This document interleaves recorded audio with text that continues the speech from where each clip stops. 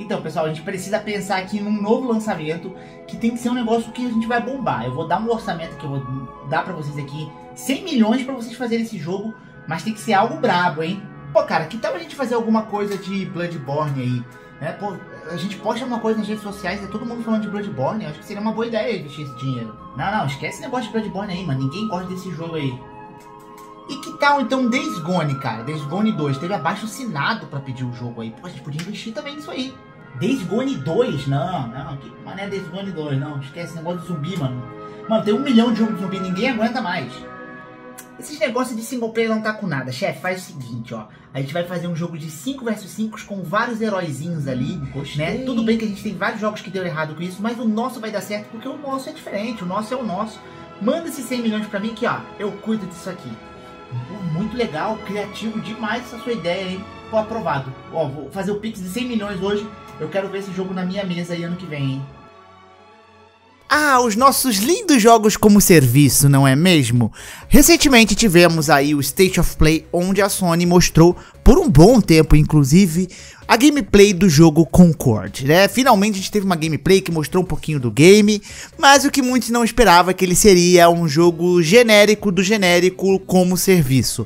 Não tendo muita identidade, como ali foi o Helldivers, por exemplo. E o jogo está sendo massivamente criticado pela maioria vasta dos jogadores, basicamente todo mundo ali que viu, né, a internet dos gamers aí que viu, está criticando muito o game. E vamos comentar sobre isso aqui. Então, antes de mais nada, deixa aquele seu likezão, se inscreve aí no canal, clica aqui na descrição para você concorrer aquele Play 5, bonito, beleza? E vamos nessa pro vídeo.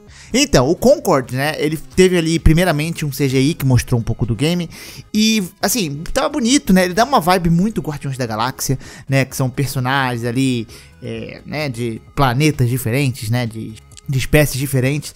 E a gente vê essa vibe meio humor, humorística e tal, né? E aí a gente teve a gameplay de fato que, cara, é um jogo bem estilão Overwatch mesmo, né? De primeira pessoa, ali 5 versus 5 jogadores. É, eles vão ter, se eu não me engano, são 16 ou 20, alguma coisa assim, heróis, né? No, já no lançamento ali do game.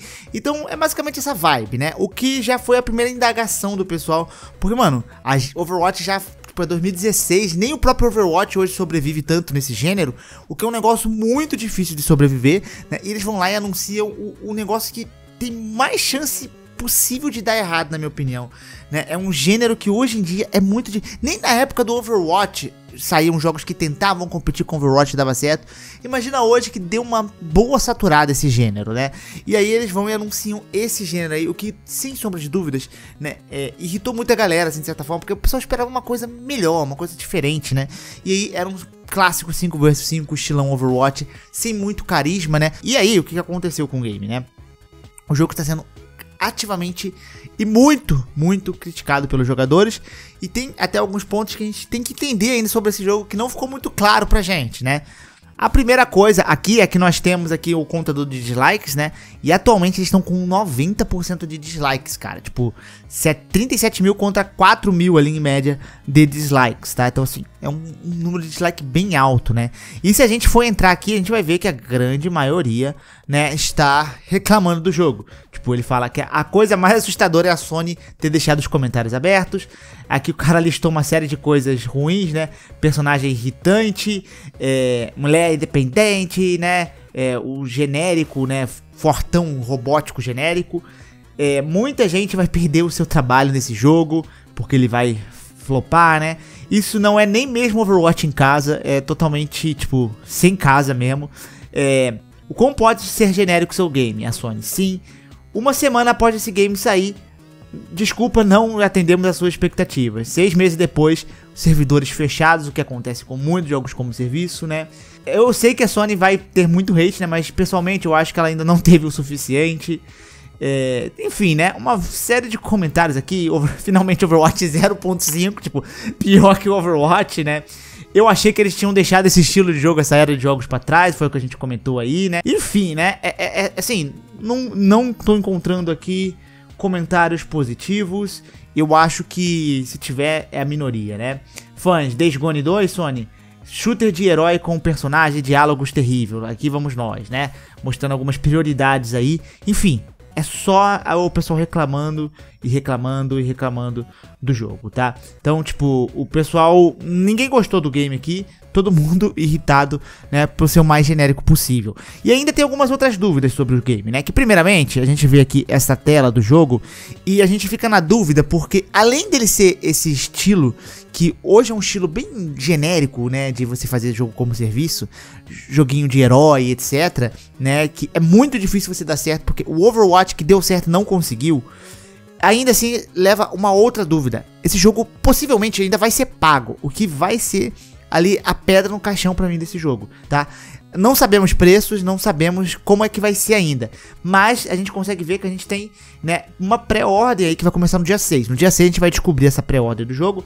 Né? Então você vai ter um acesso ao beta se você fizer a pré-order. E você vai ter o, o, pacote de monarquia. Então você vai ter esse jogo, vai ter uma forma de pagamento de pré-order desse jogo. Tá? A gente não sabe o preço ainda, mas ele vai ser pago, tá? É, eu cogitei, né, tentando pensar no positivo ainda, é desse jogo não ser pago, assim, não ser pago você pagar, sei lá, 40, 50 dólares, e ele vier no serviço da Plus, tá? Aí seria algo menos impactante. Algo semelhante aconteceu com o Fun Stars, né? Não sei se vocês lembram do Fun Stars lá da Square que flopou. É, ele. Até o lançamento a gente não sabia se ele era pago ou não. E aí revelaram que ele ia sair na Plus. Então pode ser que isso aconteça com esse jogo. Que pode ajudar um pouquinho, mas eu não vejo como esse jogo dando certo aqui, né? É, na própria página do Concorde, cara, aqui também no X, né? Eles postaram algumas coisas, assim. Pouquíssima atenção dos jogadores, né? Você tem pouquíssimos likes, pouquíssimas pessoas realmente se interessaram em seguir e tal, né? Porque não foi um jogo que chamou atenção. E você tem muitas pessoas aqui falando, né? É triste, né, pros desenvolvedores, mas, pô, é complicado, né? Dou três meses até os servidores fecharem. Com certeza esse jogo vai acabar, né? Vai estar tá falecido já no lançamento. Outro falando que vai estar tá falecido é, no lançamento. É, né? Falando ali também de personagem do, do, tal do Woke aí, né? Que eu vi alguns comentarem também.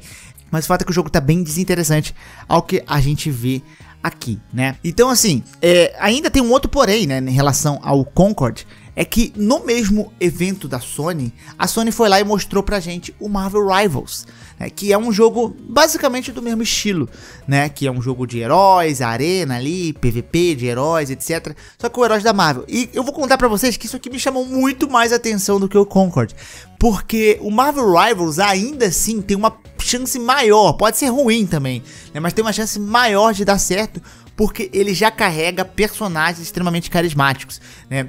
Claro, pode estar errado. O Marvel, o, os Vingadores lá, né? O jogo dos Vingadores, ele deu errado, né? Mas isso aqui pode surpreender. Eu acho que pode dar errado, mas ainda tem mais chance de dar certo com o próprio Concord. Porque pelo menos a gente tem personagens interessantes, né? Personagens ali é, da Marvel. Jogar com o Homem-Aranha é um negócio que ajuda, vende pra caramba, né? E é um gênero que combina um tanto ali, na minha opinião, com Vingadores, Marvel, os personagens. E é um jogo que consegue manter uma longevidade de atualização pelo fato que é muito personagem para lançar nisso aqui.